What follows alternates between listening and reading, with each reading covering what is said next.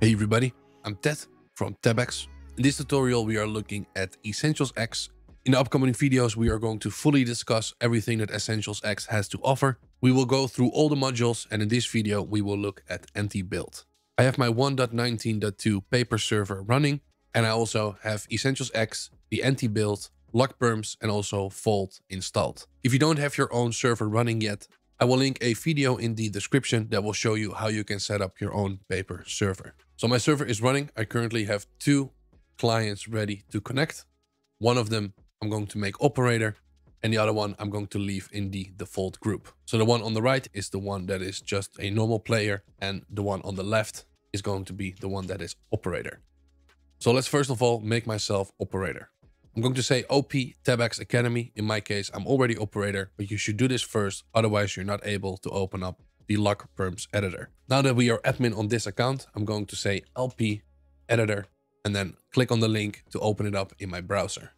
I'm going to click on the command to trust the editor and then paste that in the chat over here. And as you can see, we now are able to make our changes.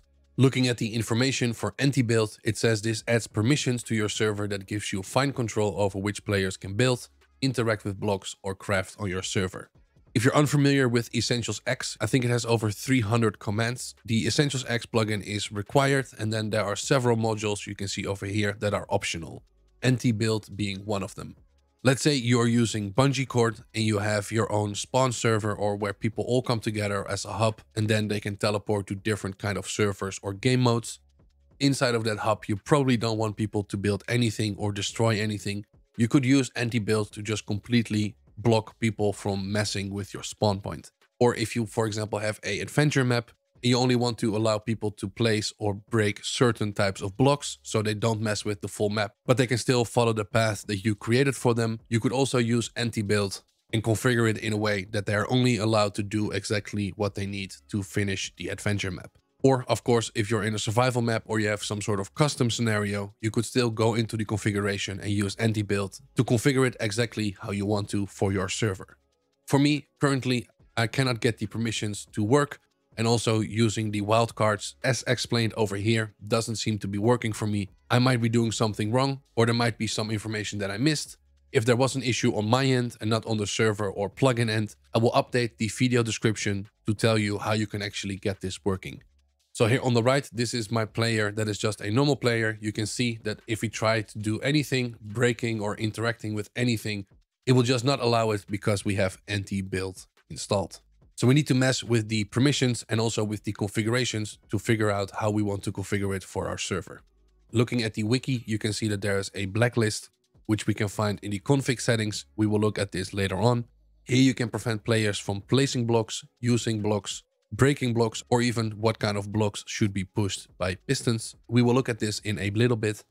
Once you set up that list, by using any of these permissions, you can then also exempt certain players or certain groups from those limits. It really depends on what kind of server you have and how you're trying to set it up. So let's first of all add this global opt-out permission to our default group. Going back to LuckPerms, we're going to go to group, select our default group, and then at the bottom, we can add a permission. We already have it copied, so we can just paste it. You can also go through the list and find the one that you need over there. Click on the one we need. Then we add it to our list. And then we need to click apply in the top right to actually apply it to our server.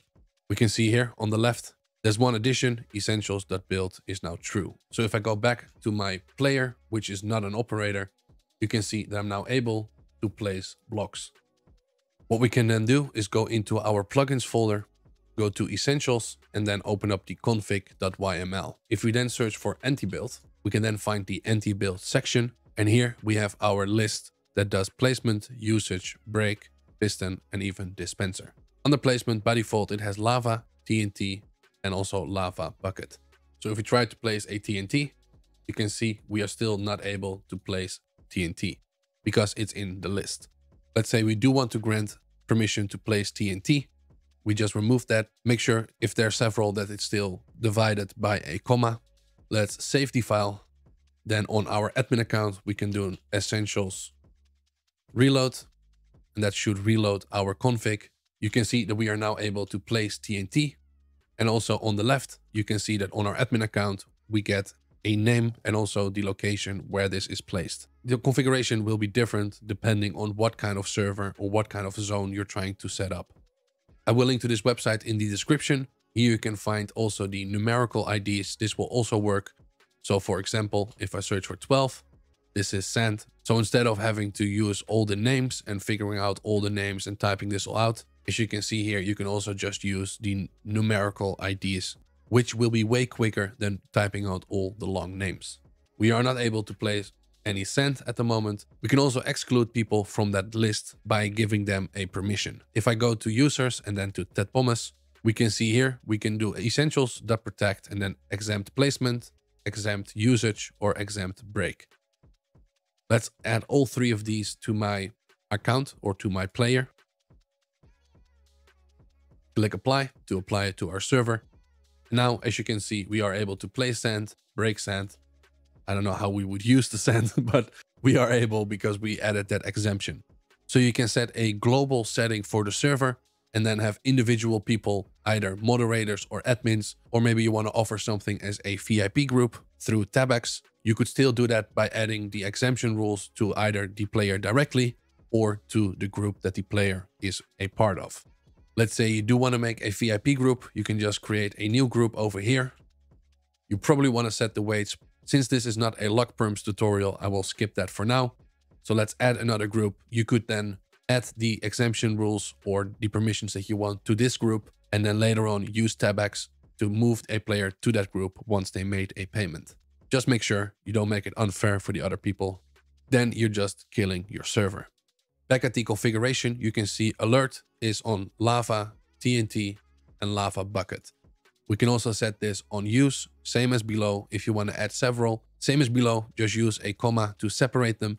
But if I place some TNT, I get a message on my admin or OP account.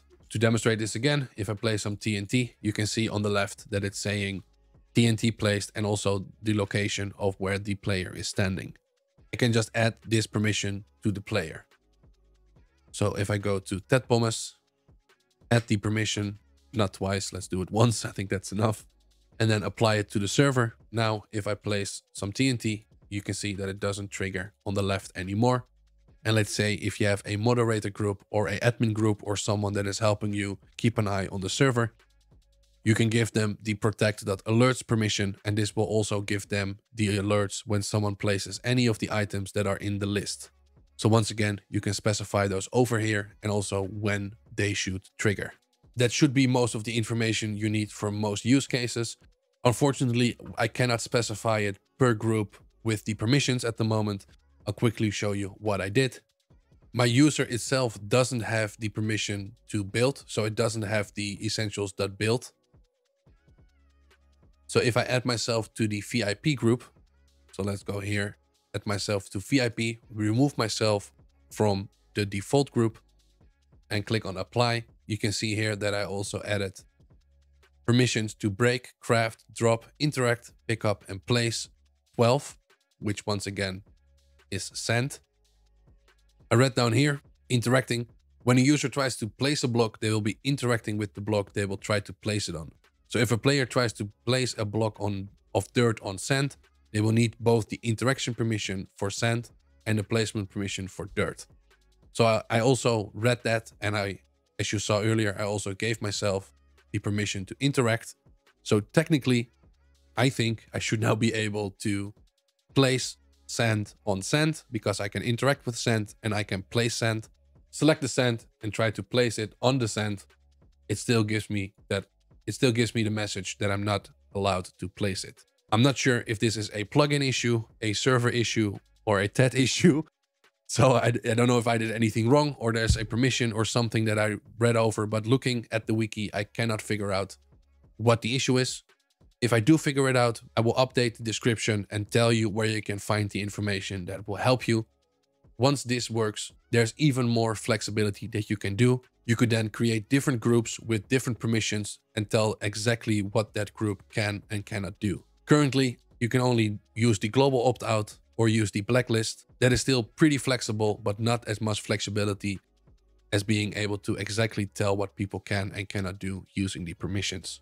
I still wanted to cover this module and just start from the top down. So hopefully this is still helpful and will help some people depending on what kind of situation or server they have. Hopefully this was still helpful. If anything is unclear, feel free to leave a comment down below. And as always, Thank you for watching and good luck with your TEBEX store.